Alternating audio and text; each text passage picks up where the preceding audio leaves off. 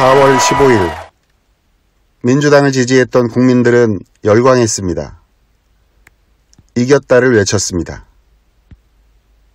이제 국회에서 제대로 시원하게 일사천리로 국정과제와 법률안들이 속속 통과되어 문재인 정부 성공과 정체됐던 일련의 민생 과제들이 꽉 막혔던 현안을 풀고 적폐청산의 병목 현상을 뻥 뚫어줄 것이라 한껏 기대했었습니다. 180석이란 놀라운 의석은 그러라고 몰빵해 준 것이고 21대 국회를 일하는 국회로 만들기 위해 국민들이 선택해 준 것입니다. 오늘 14일 이를 촉구하고 결의를 다지기 위해 초선 의원들이 모였습니다. 민주당을 넘어 열린민주당 포함 11시 국회 소통관에서 일하는 국회를 만들기 위한 기자회견을 했습니다. 진보 개혁 세력에게 압도적 힘을 실어주셨기에 그 권한을 묵혀두지 않도록 초선 의원들부터 할 수 있는 일들을 찾겠다는 것입니다. 한 패친의 글에 생각을 보태봅니다. 협치와 의회주의를 강조하는 사람들은 민주당의 독선과 오만으로 보일 소지가 있다란 논리로 끝까지 미래통합당에게 손을 내밀고 있습니다. 법사위원장직을 제외한 예산결산 특별위원장, 국토위원장, 정무위원장, 교육위원장, 문화체육관광위원장, 환경노동위원장, 농림축산식품해양수산위원장의 7개 상임위원장직을 양보하는 안을 제안했다란 것입니다. 그러나 미통당은 의총에서 법사위원장직을 차지하지 못한다는 이유로 원구성 협상을 거부했습니다. 천만 다행이라 생각됩니다.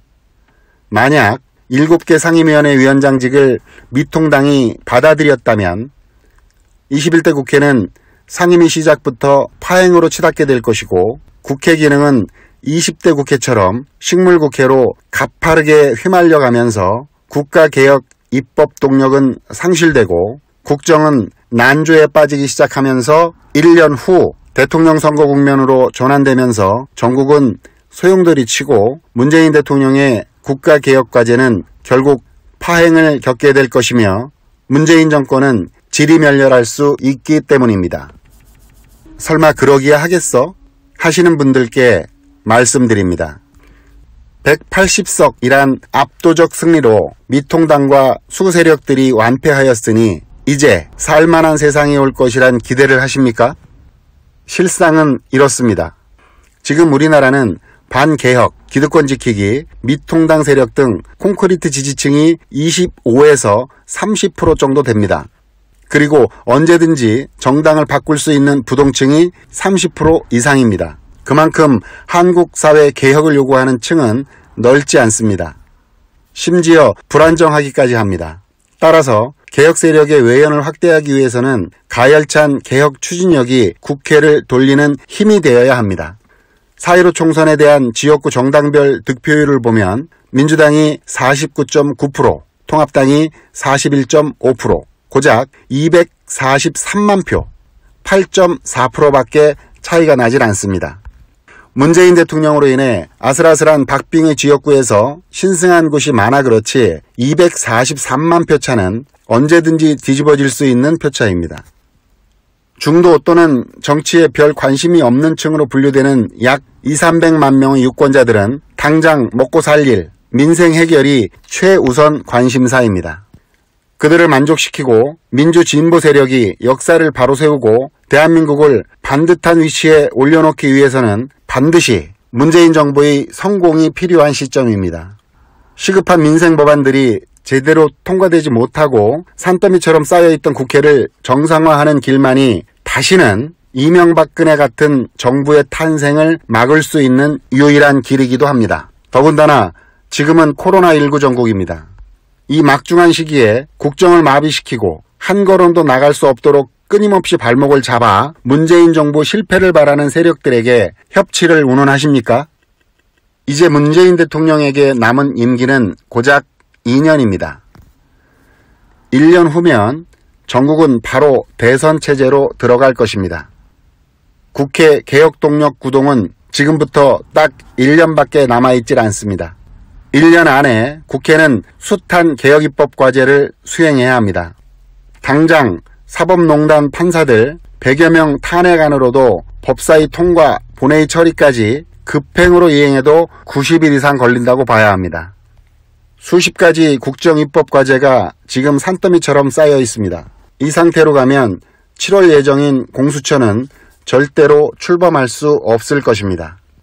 이대로 계속 분탕을 쳐서 공수처 출범을 막고 전국을 회오리 속으로 밀어넣고자 하는 세력과 협치를 하자고요? 생각해 보시길 바랍니다. 만약 미통당의 곽상도, 하태경 등이 상임위원장으로 앉게 된다면 안건 처리를 제대로 할 수 있겠습니까? 이들이 예산결산 특별위원장이나 교육위원장을 맡는다고 상상해 보십시오. 싸움박질로 난장판 상임위는 불보듯 뻔합니다. 문재인 정부 출범 후 협치를 말하면 민주당이나 대통령의 지지율은 반드시 떨어졌습니다. 반면 리더십을 보여줄 때 지지율은 올라갔습니다. 그리고 대통령의 지지율에 민주당은 편승하거나 도리어 대통령 지지율을 갉아먹는 배은 망덕이 반복되기도 했습니다. 사전투표에서부터 시민들이 보여준 목숨마저 두렵지 않은 비장함은 코로나19로 인한 검사와 일정한 간격이 필요해 어느 때보다 시간이 지체되고 행렬이 길어졌음에도 불구하고 결코 포기하지 않았습니다. 세계가 경악을 금치 못한 투표장의 긴 행렬은 그만큼 상식이 통용되는 정의로운 세상이 절실했던 시민들의 눈물겨운 열망이었습니다. 수구 부패 언론의 여론 조작을 뚫고 국민은 민주당에게 과반 의석 이상을 만들어낸 이유를 민주당은 망각한 채 협치, 의회주의 운운하는 호사를 누리려고 합니다. 전광석화 같은 속도로 개혁국회를 이끌어도 턱없이 부족한 시간입니다. 상임위원장 단 한 석이라도 미통당에 넘기면 전국은 꼬이고 바로 혼란에 직면하게 될 것입니다. 이제 협치를 떠드는 자는 누구든 민주주의의 적입니다. 극단적이라고요? 아닙니다. 이것이 순리이자 사이로로 몰아준 국민의 뜻입니다. 미국만 하더라도 승리한 여권에서 모든 상임위원장직을 독식합니다. 그렇게 전국 운영을 하다 제대로 못하면 다시 국민의 심판을 받는 것입니다. 또 제대로 일을 하면 다시 선택을 받는 것입니다. 그것이 민주주의입니다. 지금 더불어민주당은 국민의 심판이 두려워 면피 카드로 협치, 의회주의 떠드는 아주 이기적 발상을 현실화시키려는 구태를 저지르고 있는 것입니다. 더 이상 협치니 뭐니 혼돈에 빠지면 안 됩니다. 그럼 야당은 어떻게 하냐고요? 다시 아스팔트로 나간다고 할 텐데요. 나가라고 하십시오. 태극기, 성조기, 일장기, 거기에 이스라엘기까지 같이 흔들고 뻘짓 하라 하십시오. 소음일 뿐입니다. 민주당이 대차게 더 가열차게 밀고 나가야만 그들도 국회로 기어 들어오게 되어 있습니다. 어릴 적 싸움할 때 상대가 약해 보이면 자꾸 기어 오르는 법입니다. 강하게 나가야 합니다. 개혁의 속도를 늦춰서는 안 됩니다. 얼마나 긴 세월을 기다렸습니까? 깨어난 시민들이 표를 몰아준 민주당의 존재는 바로 이 시민들의 피 끓는 염원이기도 합니다.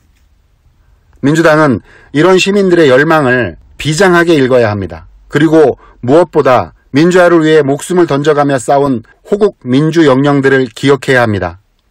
지금 당신들이 앉아있는 국회의 그 자리는 사실 그들의 영혼이 자리하고 있는 신성한 자리입니다. 단 한순간도 호국 민주 영령들과 열망하는 시민들의 절규를 잊어서는 안 됩니다.